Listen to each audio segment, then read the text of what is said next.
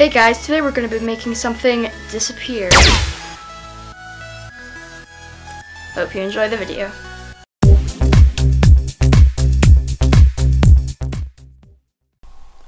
Right, so now that we're inside the software, you can see that I'd actually just dropped the object that we're going to be making disappear. Now, when doing this process, make sure to keep your hand very still, but now we're just going to cut out the part where I actually drop it, so people don't notice that I dropped it. Hopefully they don't notice. Now, the reason we add, like, the effects, the stock footage, is to cover up the fact that it's just a simple cutaway. So, the effects I'm going to be using are all from ProductionCrate.com, which is probably the best place to get free high quality stock footage. So the first effect we're going to be using is Nova Burst, I think it's called. I'm not sure. Anyway, it's a cool looking shockwave, and we're going to be using this to cover up the fact that the Rubik's Cube actually just cuts away. We're going to be adding a glow effect, just to make it look a little more realistic. And also, we're going to set that glow effect to add, just as an alternative for setting the actual layer to add, because if you set the layer to add, it looks a little too transparent on this effect. So it's looking pretty good, and you should probably just play around with the effect until you get what it looks realistic for, because every effect is different and every scene needs a different, you know, treatment. So just keep playing around with it until you find something that looks good to you. I think this is looking pretty good, so um, yeah, so it's time to add in our next effect. So the next effect we're going to be using is called Magic Hit 1, I believe.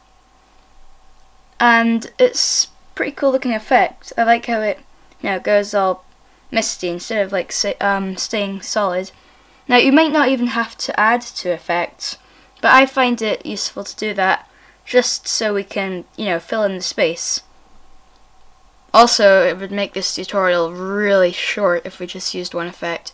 And anyway, the next built-in effect to the software is going to be heat distortion. We're using this because, well, some sort of blast would usually mess up the lens or whatever. I'm not sure, I'm just using it because it's been used in films. I, I don't know if any of that junk is real. Anyway, um, so we're going to be making a mask around the heat distortion effect.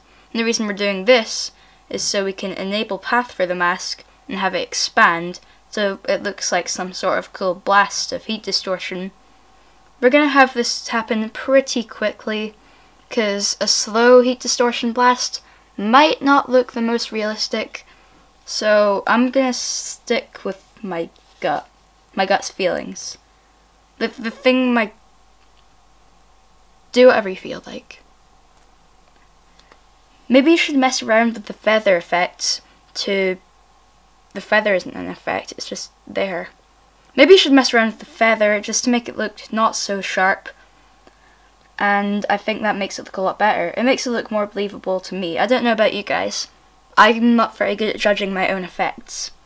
So just cut this down as necessary, play it through, look at it, change it, touch it. I don't know what you want to do with it but it is now there.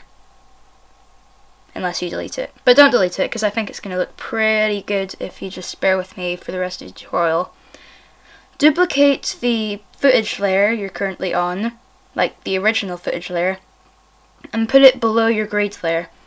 Set that to add or screen to make it look, you know, bright. And then this is going to be used to add environmental lighting Mainly just my face. Because I think that's the only bit that would be lit up by, you know, the thing. Okay, so now affect the, you know, the feather of the thing. Anyway, keyframe the opacity of the mask and have it get brighter. And have the mask, um, like have the same brightness as, you know, the thing the effect, the, the thing effect. I'm sorry, you guys. Anyway, so just do that. It won't take very long. And after that, I guess you're pretty much done. Like, you can keep doing things to it, and you know, it'll look pretty good. Like the more you add to it. I guess like the more you add to it, it depends what you're adding to it really. But that is as far as I will go today. So um thanks for sticking through this very dumb sounding unscripted piece of garbage. And I will give you a proper outro in a second. Like like now. Yeah.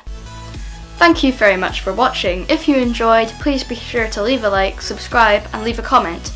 Like, asking what you want to see in the next video, or anything random, like a random question. I am okay with anything in the comment section, so feel free. Thanks for watching, and I will see you soon.